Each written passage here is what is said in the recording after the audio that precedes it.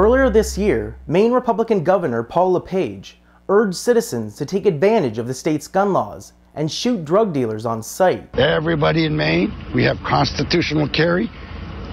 Load, load up and get rid of the drug dealers. The governor's comment came only a day after he called for drug traffickers to be publicly executed, tortured, or at least given 20 years to life behind bars. There, there's nothing good enough for these people. I think uh, four years is is is not good enough. We got to go to 20 years. We got to keep them here until they die.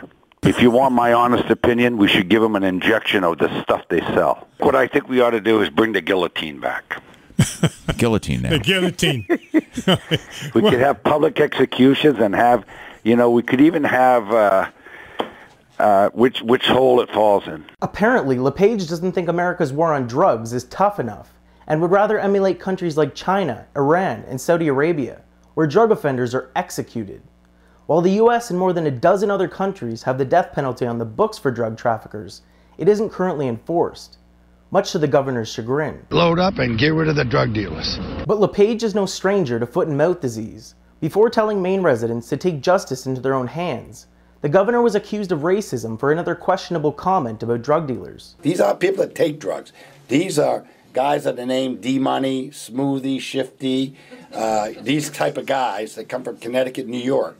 They come up here, they sell their heroin, then they go back home. Incidentally, half the time they impregnate a young white girl before they leave, which is a real sad thing because then we have another issue that we got to deal with down the road. After intense criticism, LePage was forced to half-heartedly apologize, saying the comment wasn't meant to be racial.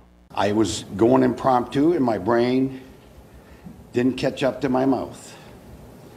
I, instead of saying Maine women, I said white women. If you go, and I'm not going to apologize to the Maine women for that, because if you go to Maine, you will see that we're essentially 95% white. Even as major medical, scientific, and human rights organizations are urging for a more compassionate approach to drugs, prohibitionist politicians like LePage want to ramp up the failed drug war. When will they learn?